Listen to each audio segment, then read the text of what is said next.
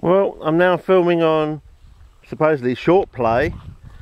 It says 30 frames per second, but in the little box underneath the 6040 it's saying something either 60 or 90 or something. So maybe it has one little glitch.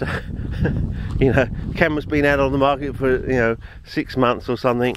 And the people are saying, uh, oh damn, a typo in the setting up the uh, thing. But uh, yeah, and you can go down here and low and uh, maybe this is worth a shot, eh? In screen shot. Maybe it's worth one uh, stopping the video and uh, um, you know taking you know, some actual macro shots so I get the detail for you. Maybe that's worth it. Oh Jesus, look at that in the distance. Yeah, and over there. Huh. Yeah.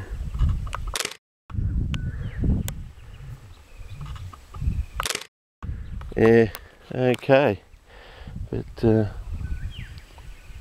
oh, yes, there is a kangaroo. Just two of them hopping around. Three!